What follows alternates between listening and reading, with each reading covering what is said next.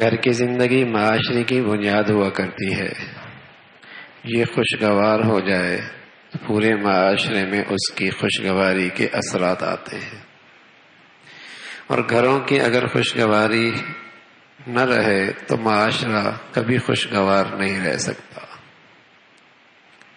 گھر کا ماحول سازگار اور خوشگوار ہو تو آدمی کی صلاحیتوں میں اضافہ ہوتا ہے۔ اور گھروں کا سکون اٹھ جائے تو اندر سے خون خشک ہونے لگتا ہے، ہڈیاں پگھلنے لگتی ہیں، صلاحیتیں زیرو ہو جاتی ہیں۔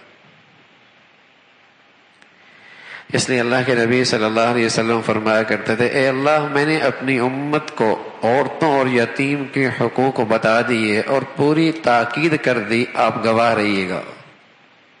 کہ میں نے اپنی امت کو ڈرایا ہے کہ عورت کا اور یتیم کے حق میں کوتاہی نہ کرنا۔ تو گھر کی زندگی، ازواج زندگی کس شان کی تھی؟ تو عائشہ فرماتی ہیں، اللہ کے نبی صلی اللہ علیہ وسلم کبھی ایسا ہوتا، وضو کر لیتے، نماز پہ جا رہے ہوتے یو کپ بھی لونی سا اپنی اہلیہ کا بوسا لے لیا کرتے۔ وہ سائم روزے کی حالت میں۔ روزہ بھی ہے، وضو بھی ہے، اتنی بے تکلفی ہے، سبحان اللہ۔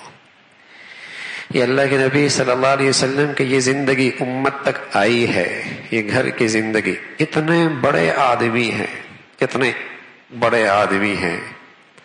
امام الانبیاء ہیں، سید القونین ہیں، سید البشر ہیں۔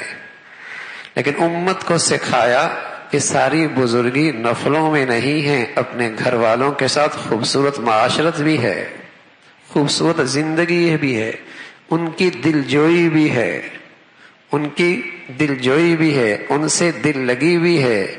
آپ علیہ سلاۃ وسلام ان کے ساتھ بیٹھتے، باتیں کرتے، مذاق کرتے، مشورے کرتے، ان کی باتیں سنتے اور بس اوقات ان سے مختلف انداز سے پہلیاں ایک دوسرے پر بولا کرتے تھے۔ بلکہ ایک مرتبہ ایسا ہوا، سودا بیٹھی ہوئی ہے عائشہ بھی بیٹھی ہوئی رضی اللہ تعالیٰ عنہ۔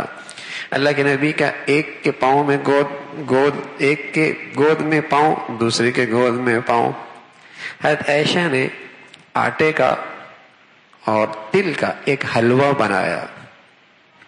حضرت عائشہ نے سودا سے کہا، دونوں آپ کی بیویاں ہیں۔ سودا سے کہا، حلوہ کھاؤ۔ نہیں کھاؤ گی نا، تمہارے چہرے پہ مل دوں گی۔ سودا نہیں کھا رہی۔ تو عائشہ اٹھی۔ اور حلوہ ہاتھوں میں لیا اور اس کے چہرے پہ مل دیا حضور علیہ ہنس رہا آپ نے فرمایا سودا، تم بھی ذرا بدلا لو، کھڑی ہو۔ انہوں نے حلوہ لیا اور عائشہ کے چہرے پہ مل دیا۔ سبحان اللہ دونوں بیویاں ہیں، دونوں سوکنوں بھی ہیں۔ لیکن اللہ کے نبی صلی اللہ علیہ وسلم کا ان کا یہ مذاق دیکھ کر مسکرا رہے، خوش ہو رہے۔ حضرت عمر کا مزاج کیسا تھا؟ اپنی سختی میں مشہور تھے، لیکن بڑی پیاری بات فرمایا کرتے تھے۔ فرمایا کرتے تھے، گھر میں رہو بچوں کی طرح۔ ہاں باہر جب آؤ تو پھر بڑے بنو۔ گھر میں رہو بچوں کی طرح۔ جب باہر آؤ پھر بڑے بنو۔